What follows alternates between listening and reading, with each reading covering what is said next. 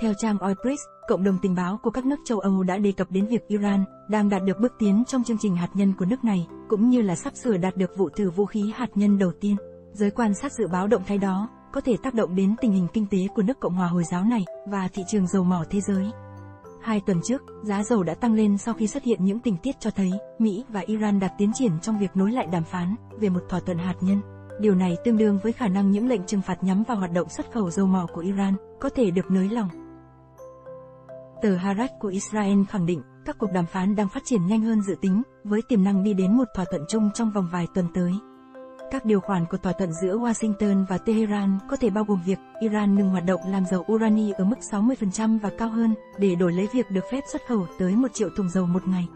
Nhưng giờ đây, một báo cáo gây nhiều tranh cãi tuyên bố rằng Iran sắp thử nghiệm vũ khí hạt nhân đầu tiên lại xuất hiện.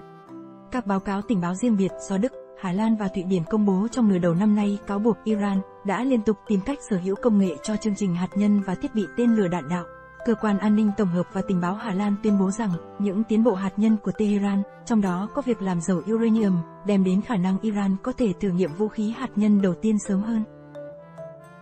Cơ quan tình báo của Hà Lan xác định rằng Iran đang triển khai các máy ly tâm làm dầu uranium ngày càng tinh vi hơn, đồng thời mở rộng khả năng làm dầu chất phóng xạ này. Quan điểm đó cũng các cơ quan tình báo Thụy Điển và Đức đồng tình.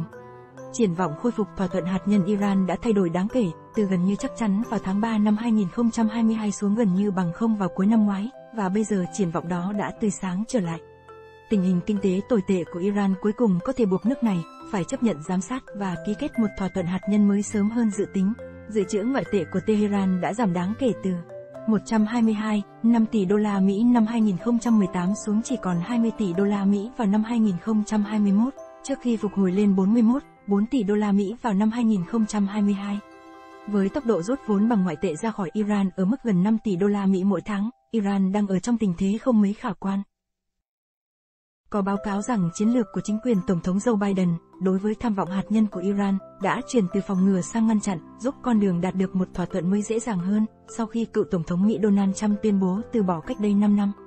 Ông Hematola Falahapisser, từng đứng đầu Ủy ban Chính sách Đối ngoại và An ninh Quốc gia tại Quốc hội Iran, đã tuyên bố rằng chính quyền Mỹ có thể nhắm mắt làm ngơ trước một số thỏa thuận năng lượng và cho phép giải phóng một số quỹ bị đóng băng của Iran.